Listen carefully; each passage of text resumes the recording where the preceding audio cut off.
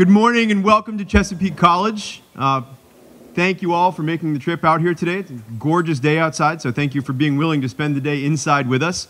Uh, my name is Greg Farley, and I'm the chairman of the uh, Center for Leadership in Environmental Education here at the college, which makes me the sustainability point person for us. Um, and I'm going to take a couple minutes just to sort of orient you to who we are as a college and why we're part of this conversation and then a little bit about what we're doing today. And then I'm going to turn the show over to Neoma because uh, she has really been the driving and organizing force behind everything. My, uh, my contention is I think that Neoma has talked to all of you. Is that correct? I think she's talked to pretty much everybody in the room this morning. So she's put a lot of work into this. Um, to prepare for my transition out of teaching faculty here at the college, I was hired 13 years ago as member of the biology faculty. Um, and to prepare for my transition into sustainability, uh, I went to Hawaii. I took a sabbatical, and I took five months, and I went to Hawaii. And that's the reaction I usually get, right? You know, they say, oh, yeah, tough gig, right? The reason I went to Hawaii is because sustainability is at the forefront of what they do. And it's driven by a lot of factors. It's driven by the fact that gasoline is $5 a gallon. It's driven by the fact that electricity is four and a half times what we pay for it here on the Eastern Shore. Um, so sustainability makes a lot of sense from a fiscal responsibility standpoint in Hawaii. But one of the things I figured out very early on, and one of the things that made it into the book that chronicles a little bit of what I did, um, is that food security, agriculture, and like issues are at the heart of the successful sustainability effort for Hawaii. You cannot talk about the preservation of agriculture without talking about whether it feeds people in the islands. You can't talk about hunger and food security in the islands without talking about Hawaiian culture and the importance of people to agriculture and the importance of food to people. And so I discovered very early on, and the, um, you know, a little bit of shameless self promotion, but the book is actually out now, and I have a copy today if you'd like to see it. But food security is so central to sustainability in Hawaii that it's one of the first two chapters in the book. The first chapter is on Hawaiian culture, the second one is on food. And then chapters three and four are both about agriculture and the resurgence of local, food driven, people driven agriculture for the state of Hawaii. So I think we're at a similar place here. The reason I went to Hawaii is it looks a lot like the Eastern Shore. It's a lot of large, uh, large agriculture plots, mostly there at sugarcane and pineapple instead of corn and soybeans, but it's a, there's a lot of large agriculture. There's also a very healthy, very vibrant small ag community, and that's growing by leaps and bounds. Their distribution of territory looks a lot like the Eastern Shore. There's a lot of farmland and small, small towns studded in between. The big city in Maui, where I was, is Kahului. It's about the same size as Easton. So they're a great model for us. And one of the things I learned is that the lessons I brought back from Hawaii can be applied to what happens here on the shore. And that's why we're here this morning. So I'd like to begin by acknowledging the support and the, the uh, impetus of the Town Creek Foundation. I think Megan is here. But thank you for, to Town Creek for bringing this project to the college and for funding our efforts. Um, I'd like to thank the, all of you who are on the ground helping people. At the end of today, I think we'll have taken a significant step towards having fewer hungry neighbors, towards having more resilient farms, towards having an agriculture system here that is better able to serve the region in terms of what people need and better able to make a profit and better able to turn uh, soil over and make soil health a better, uh, at better value for the, pre, the agricultural system to come. The, there are a lot of factors in this room. Everybody here this morning is wearing a name tag that doesn't have your silo on it. It doesn't say where you're from. Mine doesn't say Chesapeake College, and I know many of you, and I know which silos you belong to. My, our hope is that we've mixed you up enough that we can develop a really rich conversation about the future of food, agriculture, food security, and all of those issues for the Eastern Shore this morning. So I'd like to th- begin by thanking all of you preemptively for your participation today. Please feel free to think out loud, think outside the box, be creative, be forceful, be participatory, and by all means, at the end of the day, feel proud of what you've done. So, thank you very much for being here this morning. I'm going to turn the show over to Neoma Rohman, who's really in charge. I really work for her. So uh, without further ado, Neoma.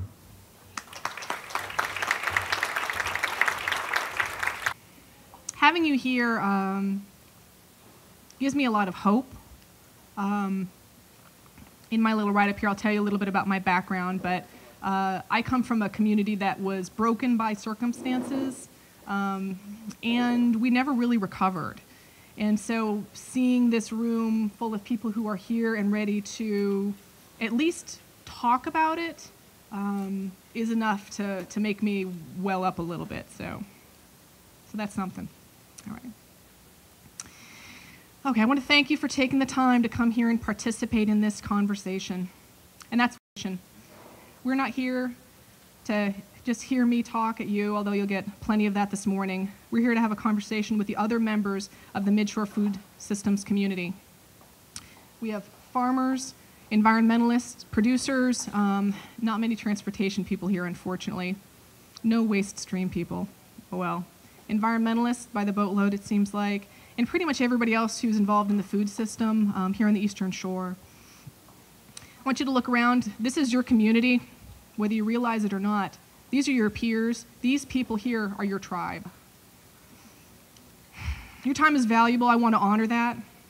This is going to be a very intense day, so we're pretty precisely scheduled. Um, I'm hoping that you will give me permission to marshal you around a bit. I have a relatively tight schedule, and I'm going to get on the microphone and say, okay, it's time to go here, here, and here. Are you guys okay with that? Of course. Okay, thank you. Let's begin. Somebody asked me this morning about my name, and I said, well, wait till the talk. So my name is Neoma. Neoma is a Cherokee name.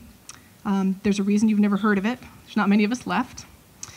The Cherokee, like many cultures that survived relatively intact for millennia, lived mostly in balance with the land and with each other. Practices that maintained the equilibrium within their society, one of which was the respect for the land, and another of which was the tradition of working through their problems as a community. A panel of elders, chosen by the community, would convene, share stories and grievances, pass the pipe, and come up with a solution that was consistent with their community values and was informed by the greater good. You guys, all of you, every one of you, we're asked here today because you are the leaders of your tribes. Agriculture, environmental, hunger, economic development, transportation, land use. You are the panel of elders here on the Eastern Shore. And the issues we have come here to discuss today are those of the food system of the Eastern Shore. Today, we will be laying the groundwork for a food system strategic plan for the five county region served by this college. We will do this via two exercises, the first of which is a conversation mapping exercise, in which we will identify themes in your collective conversations. The second part will be an exercise which will allow us to identify areas of strength and weakness within the existing system, as well as areas of common obstacles and opportunities. Who thinks she's young? Who thinks she's old? Who doesn't know yet? No. Okay, then I need to see all the hands up. Who thinks she's young? Who thinks she's old? Look around you. You can't all be right. I love these things. So, this is Hildegard. And she's here to remind you that even when you're sure you're right, sometimes if you take a moment to look at things a little bit differently, you may see the picture in a whole new light. Let's try another one.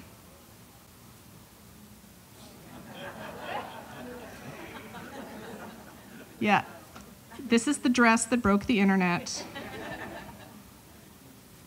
Look at the picture and Please tell me with a show of hands, how many of you know that this dress is blue? How many of you know that this dress is gold or white or whatever you weirdos see? yeah. I, I don't understand. My husband swears it's gold. I gotta believe you. I gotta believe you. All right.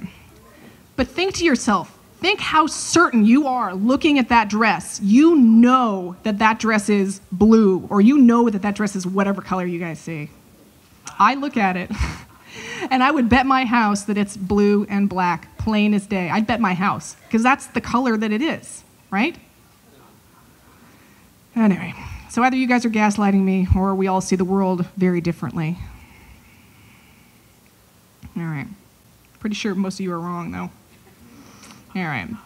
So this dress is here to tell you, regardless of how sure we are about something and how wrong the other guy is, we might both be looking at the same thing, just from different perspectives. Many of the food systems issues I discovered in my research were points of contention for two or more stakeholder groups, not surprisingly. Yet I can't help but notice that we all love this land and have a strong affinity for its people. Our recent discovery of our differences uh, dictates that perhaps our goals are more similar than we realize. Perhaps if we shift our perspectives a little, just a little, we may come to see these obstacles as opportunities instead. so, somebody asked me about my background this morning also and why I got into this work. So, I'm sorry, this is a little bit of a downer, but so um, I'm not an expert. Uh, I'm certainly not here to tell you what you're doing wrong and what you should do to fix it. I certainly don't know all the answers. Um, but I have seen something like what we have going on here uh, in the five county region. I've seen something like this before, and I, I want to help. I want to help before it's too late for you guys, too. I grew up in the rainforests of Oregon. I don't know if you guys know this, but there are rainforests in Oregon. Yeah, pretty cool. And my father, like every other father in our community, was a logger. The forests of my youth were awesome, and I thought at the time never ending. And like most deeply rural communities, the only industry we had was to harvest our natural resources. Sadly, clear cutting pushed them to the brink of extinction. And what little remains today was saved, in part, by environmental groups leveraging the newly formed Endangered Species Act. Some of you may remember these little guys. These are the spotted owls.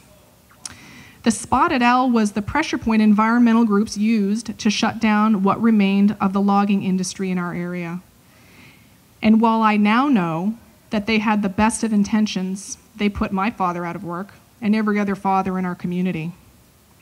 I grew up on government assistance, or at least the little amount of assistance that my mother would deign to take. We survived by growing and putting up our own food, and that's a habit I still continue today. My father got another job, this time fishing for salmon in the river, but that didn't last long either. The salmon population plummeted with the building of the dams, and the rivers became choked with clouds of silt washing into the river from the now denuded hillsides. It's a funny thing when you remove trees from hills, the hills fall down. His last job was working as a laborer in a paper mill. He spent the remainder of his working years jackhammering concrete in an incredibly toxic environment. Unfathomably to me as a youth, and despite the silicosis that eventually crippled him, he still considered himself lucky. And now I know that he was lucky. He was lucky to even have found a job. There were and are too few to go around. Most of our community disappeared into the hole of joblessness, helplessness, and hopelessness, eventually succumbing to depression, desperation, drugs, or poverty related diseases. So I guess you could say I'm kind of an expert. I know firsthand the consequences of environmental devastation and the equally devastating effects of abruptly ending those practices that support indigenous communities. I know about hunger and what happens to workers when they have no choice but to take any job offered. I know poverty and being given so little that you can't even figure out what's missing. I know the dangers of putting all our eggs in one basket. You can say, I'm a bit of an expert on the consequences of living exclusively for yourself or for today without consideration of the future or the wider community. I don't want to see that happen to anybody else, and most especially not here in my new home on the shore. So, as a result, I've chosen a role as a community sustainability and resiliency coordinator. It's a big title. You guys have all seen it on the bottom of my email. What does that mean? Communities. I only work with small and medium sized communities like, like those here on the shore. Community is the heart of who we are, and it needs to be fostered. Sustainability is what we're doing right now or what we're planning on doing sustainable. In other words, can we keep this up for seven generations, which is 140, 140 years? If the answer is no, then we're just robbing our grandchildren. Resilience. Are we strong? Do we have the capacity to recover quickly from difficulties? Have we planned for that bolt from the blue? Coordinator. I'm here to coordinate your efforts to make the midshore the best possible version of itself. To that end, I've interviewed hundreds of people involved in food systems work here on the Eastern Shore and the surrounding areas. Some of you snuck in from Baltimore, I saw you, including most of you in this room. And here is an overview of what you told me are the areas with the greatest opportunities for improvement.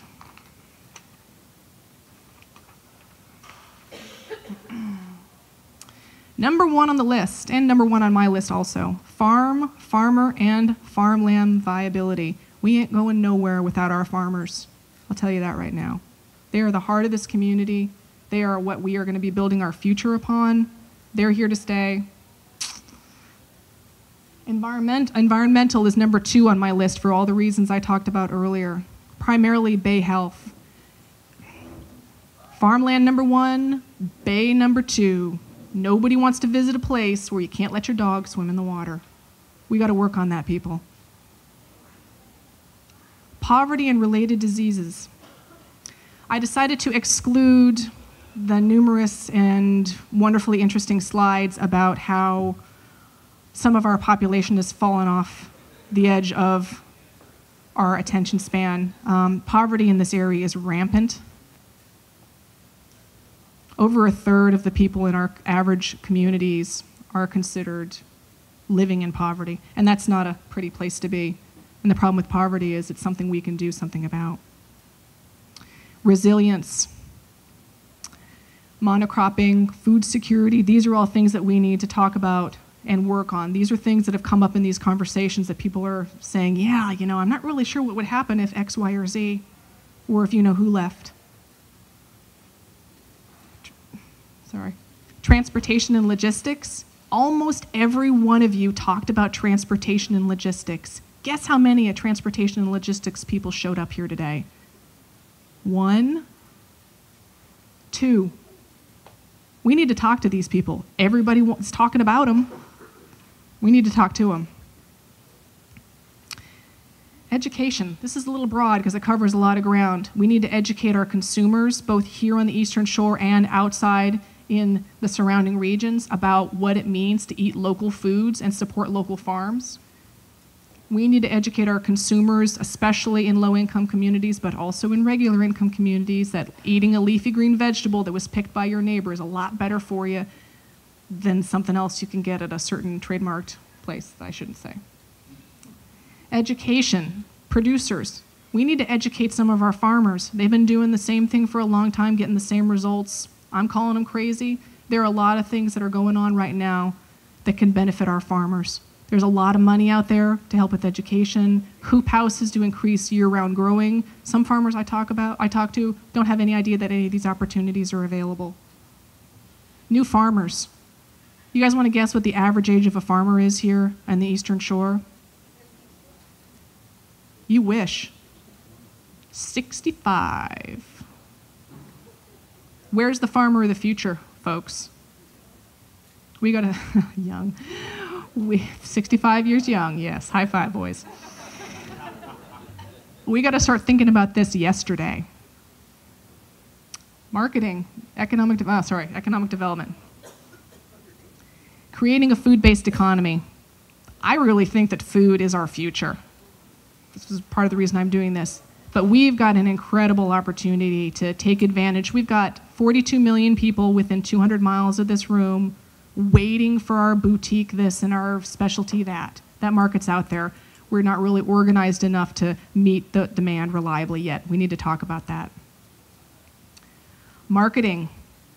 Marketing, marketing affects all of you, not just because when we sell our products to that big mass of people, they need to know that we have a convenient, um, a consistent, safe brand. We also need to start policing ourselves because if we start to build some momentum with our marketing and we start to get a market, and one of these guys who's selling meat that's not theirs, that they're getting at the auction, and somebody figures that out and then puts it on 60 Minutes or CNN, that rotten apple is going to ruin the barrel for all of us. We need to start working on some self policing. Okay. But enough lecturing. Just kidding. More lecturing. All right. All of these issues are large, complex, and inextricably woven together. Any solutions will require the involvement of the food system community at large. It is my hope that today will begin this dialogue and lay the path to the midshore of tomorrow. If you work together, you guys have the knowledge, you guys have the power, you guys have the ability to improve all aspects of our community. Are you ready to start working? Are you ready to start working? Yes. Thank you. Okay. All right, here we go. Conversation mapping. I really like this technique. Um, I first learned about it uh, about a year ago when my, my new boss, who's sitting back there, suggested I go to this wacky meeting in Cambridge. And I'm really glad that he did because it's pretty cool. Conversation mapping is a way to get a lot of information from a lot of people in a very short time, which is what we have a very short time. This technique will allow us all to have numerous conversations simultaneously but without the noise and chaos of a group conversation. How do you think we're going to do this? You're not allowed to talk.